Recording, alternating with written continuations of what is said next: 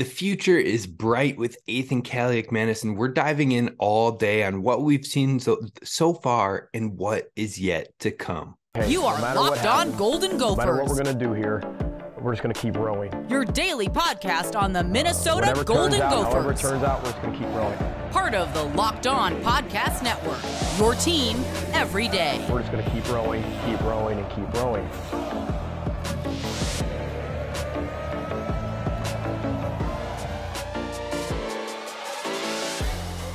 You're listening to Locked On Golden Gophers, part of the Locked On Podcast Network, your team every day. My name's Kane Rob, host of the podcast, former collegiate football video coordinator and recruiting assistant, here to talk Golden Gophers with you each and every day of the week, Monday through Friday. And Today, we're talking about Gophers quarterback Athan Kaliakmanis. He has the entire fan base excited, and you're going to be hearing about him a lot on this show as we move forward. I have a full confidence in that one. So be sure to hit subscribe on YouTube, where we're building our community to make sure you never miss out on the latest and greatest, and wherever you get your podcasts at Locked On Golden Gophers.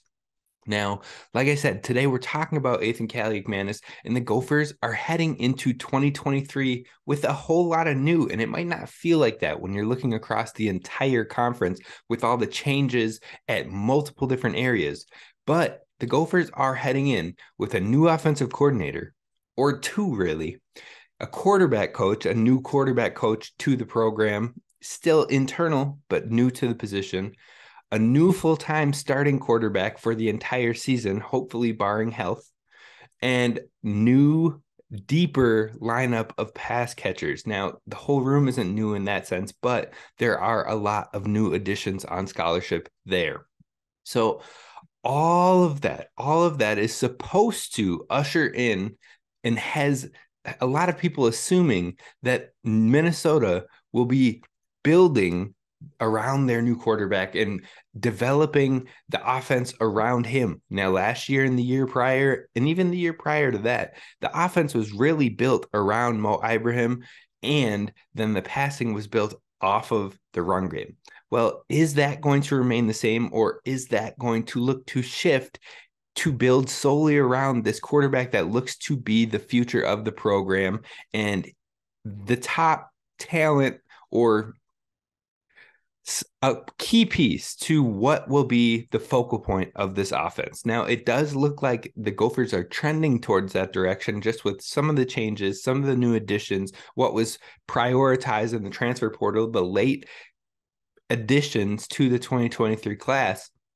All of that leans towards the Gophers should be passing more in some capacity. Now, it shouldn't be hard for the Gophers to pass more in some capacity because they've never finished above 100th in the nation when it comes to pass attempts under coach Fleck's so that looks like it should hopefully be changing. We'll see if it does indeed change in this 2023 season. But let's talk about Athan and let's talk about why this is happening. He is a redshirt freshman that came in and started four and a half games due to the injuries of Tanner Morgan and due to the opportunity needing to be called up earlier. The full intention was Tanner Morgan was going to play the entire season in 2022, and the future would be in 2023. Now, that didn't happen because Tanner Morgan had some concussions, and you always want to protect the players with those. So Athan came in. Now he passed for 946 yards on 54.1 completion percentage with three touchdowns and four interceptions. Now, as I read that, you may be thinking, oh, well, that doesn't sound that great. And you're right, it doesn't, but there are a lot of missing context with those numbers on top of the fact that watching the film and seeing what he did on tape is a lot better than what those numbers just jump out by looking at a box score. So box score watching is not ever going to give you the full picture. And this scenario is definitely a time like that. But the missing context, it doesn't take into account that two of those four interceptions came against Illinois at the end of the game in garbage time where the entire team morale was low. The team had already basically been defeated. And one of those two interceptions was on a pass that the wide receiver just completely gave up on the route, on the play, and it turned into an interception. The other one, both of them coming in just pure huck and chuck, throw the ball down the field, try to create an opportunity. And that's not the typical flow of the game, especially when you're coming in with the final like three minutes of the game. So, not full context of those interceptions, but in the moments of starts and legitimate opportunities to be in the game, like the Nebraska game or the beginning of the bowl game before he got hurt, Kaliakmanis was taking care of the ball. He was making smart decisions. He was making wow plays, and you like to see it. It also doesn't really show you how tight the Gophers were holding the reins when it came to Athan Kaliakmanis playing in this season up until that Wisconsin game. Now, up before that Wisconsin game, they only allowed Athan to go over 15 pass attempts in one game. Now, he'd played in like six at that point. I believe he had started in about three and he had played in bits and pieces of three other games, but they only allowed him to go over 15 passing attempts in one of those games. And even that was solely due to a wide margin in the score differential, which was the largest gap in score by far in the Penn State game. It was the only blowout loss where the Minnesota lost outside of two scores. And so, yes, you see more pass attempts there, but even then, it was only 22 in that game. In a game you lost 45 to 17, you still only passed about 22 times. Outside of that, prior to the Wisconsin game, Athan didn't get the opportunity to pass the ball more than 15 times in one game. So they were holding the reins real tight. And as soon as they kind of let him go, they let him pass for 29 attempts on Wisconsin and he balled out. They let him pass for nine attempts in the first quarter and a half of the bowl game before his injury and he balled out. So it's just like as they loosen those reins, you start to see the development, things clicking, and it all coming to fruition. Now, it finally, lastly, it does the numbers themselves don't take into consideration how in the Iowa game and other games, Athan was slinging the ball efficiently. So in the Iowa game, he started seven for eight for 87 yards. And uh, then after that, Minnesota completely abandoned the passing game up until they had to play, they were on a third or a fourth in like seven or 10, somewhere in there, setting the tone. Don't remember the exact numbers off the top of my head. And it was a sole, you have to pass the ball to get this first down type of situation, which turned into a tight window interception that bounced off of the receiver's hands into the D back. And again, that was again one of those interceptions, one of the four. It's just again one of those situations where it wasn't ideal for the young quarterback. You start off hot, seven for eight, and then you basically abandon the entire passing game until you have to throw the ball. The defense knows you're throwing the ball and plays against the pass specifically. And then you have an interception there. And then finally, to end that game, you throw up four deep shots trying to get down the field to try and win the game with like the final minute of the game. So you start out seven for eight, and then you finish about seven for 13, seven for 14 in that game I mean, that just makes his numbers look worse as opposed to what actually took place in the game. So context is everything when it comes to Athan Kaliakmanis. And I even tweeted out at the end of the regular season that in terms of QBR in 2022, Athan Kaliakmanis finished in the Big Ten as the number three quarterback in the entire conference, only behind CJ Stroud and JJ McCarthy, both quarterbacks which led their teams to the playoff. Now, Athan Kaliakmanis was right behind them, ahead of Aidan O'Connell, ahead of Talia Taulia Tagovailoa, ahead of Sean Clifford, ahead of Tommy DeVito, ahead of Peyton Thorne. And yet, when we head into the Big Ten season, you'll see his name probably behind some of those guys just because people give in to the hype and don't look at what actually was on the field. But let's look at it even more. So, in his four and a half starts, Athan was 745 pass yards, three touchdowns, two interceptions, 119 rushing yards, and a 56% completion rate. Now, yes, you want to see the completion rate tick up a bit, but it will come with more experience and less huck and chuck like we saw in the PSU and the Iowa starts. Now, overall, he had a PFF grade of 75.0. He had four big time throws and four turnover worthy plays, and the average time to throw was actually relatively quick. He was getting the ball out of his hands in 2.84 seconds, which is really good. You love to see it in those in that two range, especially. But in the mid to lower twos is like you're you're dishing, you're getting it out of your hands, you're processing, and the offense is humming. So you like to see that. But like I said, that was just in his four and a half starts. But if you really dive in deep, you really look in close, you'll see that he was really trending in the right direction once the wheels came, training wheels came off, and he was allowed to pass the ball. So in that final one and a half games, the Wisconsin game and the game he was started in the bowl game prior to the injury, 389 yards, two touchdowns, 86% completion rate, two big time throws, zero turnover worthy plays, and his quickest time to throw, which was 2.42 and 2.49 against solid defenses. So you're talking about when they finally let him go, when they finally were like, yep, it's your team, let's do this, let's go around you, let's make it happen. He was humming. He was humming, he was efficient. He was not turning the ball over. He was making smart decisions. The completion percentage went up. And that's just looking at the stats. But let's talk about his leadership and the intangibles. That's what we're going to discuss coming up next.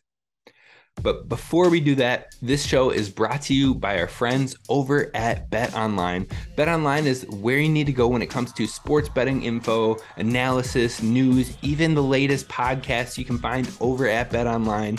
And you can find it from all the professional leagues, amateur leagues, anything you can think of. Bet Online will have the numbers for you. So you definitely want to check that out if you're looking to make a bet, if you're looking to know the odds, even if you're making a family bet, you're making a little friendly wager with the family. Check out the odds over at Bet Online so you can put yourself ahead of the game. Bet Online is where the game starts. All right, Gophers fans, thank you for listening to Locked On Golden Gophers and making us your first listen when it comes to Gophers daily sports. Now, we got our first hockey episode coming up this Friday where we're going to have Alex Micheletti join the show. And I'm hoping to get a few guests for the next few weeks each time we talk about hockey. And hopefully, we'll be having Alex Micheletti and uh, Sam Ekstrom as well heading to the show. And I got one more in the works. So hopefully, that'll be happening where we'll have those guys kind of rotating between Fridays and talking some Gophers hockey, that Pride on Ice. So definitely be sure to hit subscribe so you don't miss any of that information.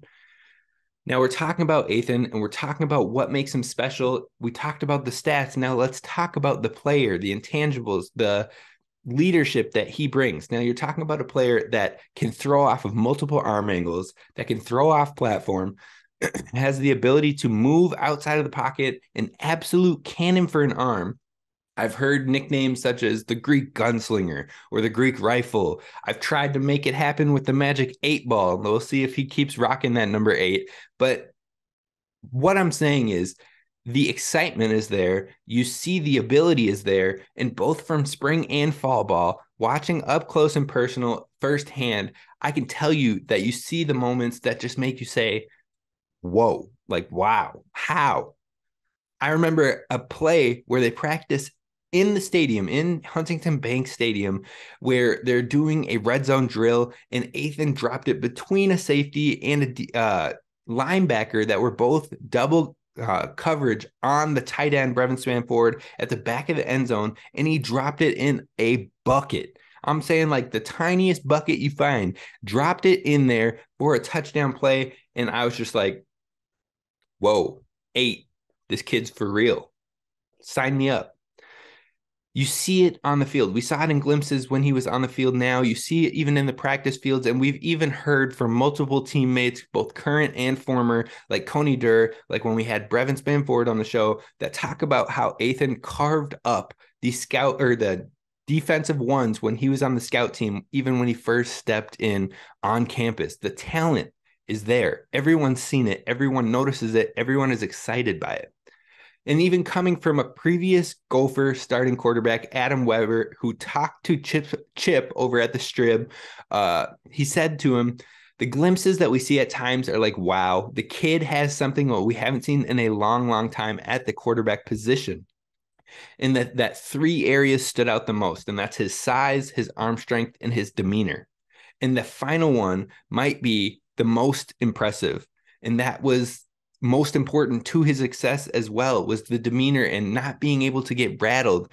Adam Weber also said it seems like he just doesn't get rattled easily. Even when there are mistakes, he doesn't seem to get flustered, which is hard to teach. It's a personality trait in quarterbacks. And so, like I said, yes, the arm strength is impressive. We've seen that. The ability is impressive. We've seen that. Clearly, they're there. But if you listened to the show, and you've been listening to the show, you know that the presence and no stage being too big is anything new. We talked to Athan and Dino's dad, Alex Kaliakmanis, who spoke with me and he said straight up that he was not he was not surprised by what happened even in his first start in Penn State in the whiteout game in an atmosphere that was hostile. He wasn't surprised by it all because both Athan and Dino are passionate students of the game. They have huge gift that they have each other and they both played a huge part in each other's success, but they were always putting in extra reps together, always reviewing the film, reviewing the playbook together, route concepts, coverages, and so on. And then on top of that, he said that they're technicians and they always have a focus on the little things, the mechanics, the footworks, the route running, the timing. So when it's time when it's time to work, when it's time to do what people might have hesitations to do, they are at the front of the line. They're on a different level and they're ready to get to work. But when I asked about specifically how Athan re- responded in his first game at PSU in the whiteout game, his dad said that he was it was completely what he expected and he knows that Athan is going to get better and better and that's just how he's built. Athan's a leader and a warrior and he has too much moxie to let a whiteout crowd get the best of him even at Penn State. He has that gift of swagger that great QBs have. Personally, he saw great things and he saw some things that also could be improved. Now, we saw that throughout the year too, and we saw the improvements made. So you like to see that. But overall, the he wants to be great. He wants to win championships and he has lofty personal goals. At the end of the day, he came here to win and be a key contributor for Gophers football. So I can assure you that Athan's going to be the real deal. Athan is ready for it. Athan's going to work. And he's been showing that even with the coaching departures, even with the chaos that's at hand. So you're talking about intangibles, check. Presence, check. Swagger, check. Motivation and drive, check. That just leaves leadership, which we've been seeing in glimpses on the field, especially in the final few games. But I even believe more so in this offseason with the coaching changes, with things that are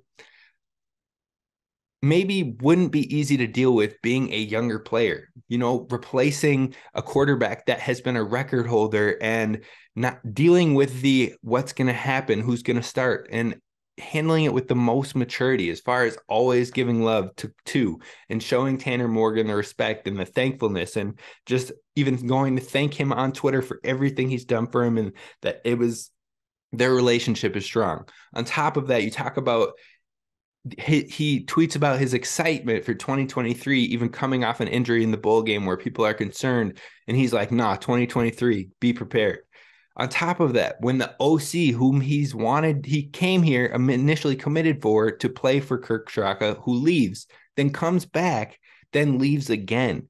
And the first thing that Athan comes out and says to fans on Twitter, to teammates, to whoever, is I love this culture, I love this team, and I can't wait to get after it this offseason with the guys. Leadership. It's subtle, but in the moments, in the timing that it happens, it's exactly what's needed.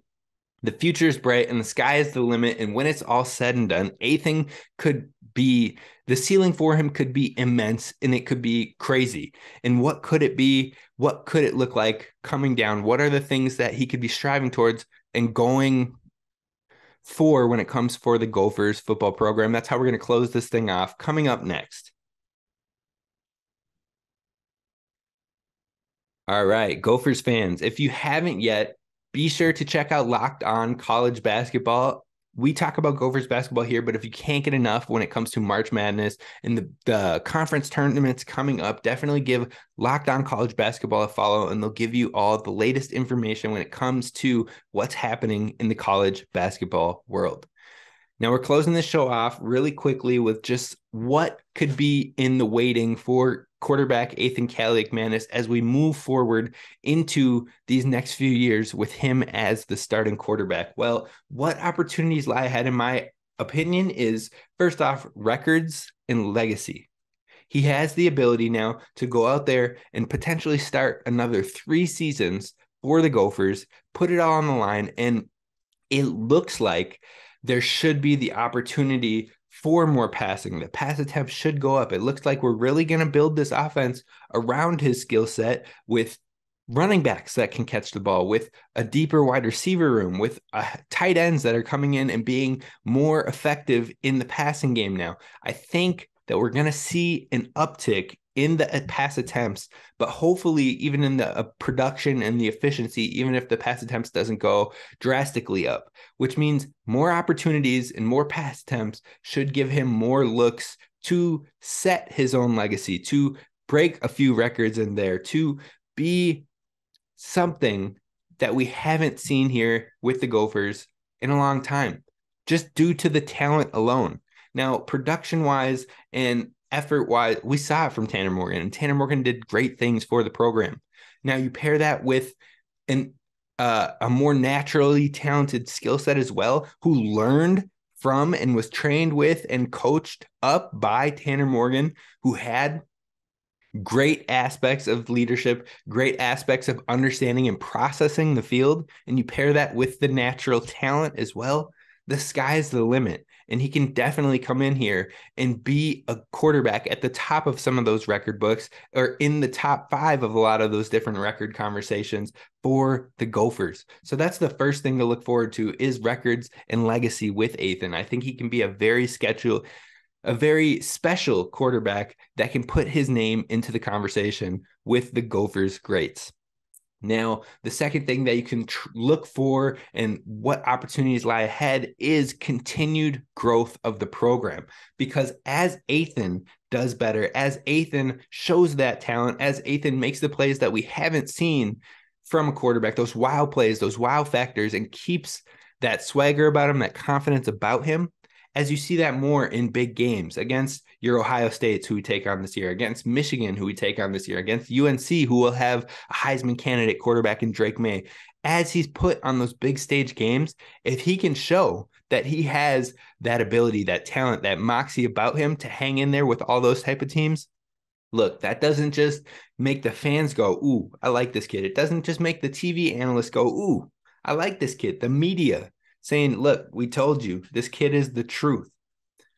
But it also tells other recruiting prospects, other kids looking in the transfer portal, like, oh, this Minnesota team, it's different. It's not just run. It's just not just run, run, run, and strong defense. This quarterback's legit. I want to play with that quarterback. They've got something building up there, something special. I want to play with that. The better he does, the more wow factor, the more intrigue that he generates, it only helps the program grow. And if those wow factors, if those big plays, if those moments translate to wins and the talent is shown, like I said, it can lead to more quality talent coming in to Dinkytown. And the final thing that's way off, we're not going to think about it now, but if he does all these things that I'm talking about, the opportunities that lie ahead, he ends up in the record books, he creates this legacy, he shows the wow factor, he shows the talent, he brings others to Minnesota. If all of that happens in a perfect world, a perfect scenario, you could be talking about a Gopher quarterback to head to the NFL for the first time in a very long time. Will it be a first round pick? Will it be a second round pick? I mean, if if I had to put my salary down on it, had to give you my best gut feeling. No, I'm not going to bet on that. But could he be a quarterback that sneaks into a day three conversation and can fight his way in camps and find an opportunity through his talent and through what he showed and build over his college career? I mean, Tanner Morgan was getting NFL hype and tout and looks from Mel Kiper, from Todd McShay. after the 2019 season. So if Athan can come out here and help lead a team like that, say we have a eight and four season in the 2023 difficult schedule season, but they put teams on notice like Michigan or like a UNC, and people are seeing him in those big games like, whoa, this kid's legit. Then you head into 2024, and all of a sudden he puts together an 11 win season and goes out there and is competing with the top dogs in the Big Ten against USC's and UCLA's and all of that. Puts together an 11 win season. Then he goes into his senior year and puts together another 10, 11 win season. Look, the NFL pay attention. So the sky is the limit, and it's going to be an exciting time with Athan Kaliakmanis at the helm. And just get ready, Gophers fans get ready and appreciate it and thank all those before him that helped lead the way and lead the charge to build the program to what it is so far. But we can keep going up. That's going to do it for us on today's episode of Locked On Golden Gophers. Thank you for listening. Please be sure to hit subscribe on YouTube and leave a five star review wherever you get your podcasts. I'll see you tomorrow. This is Kane Rob signing off. Row the boat. Sky you. Go Gophers.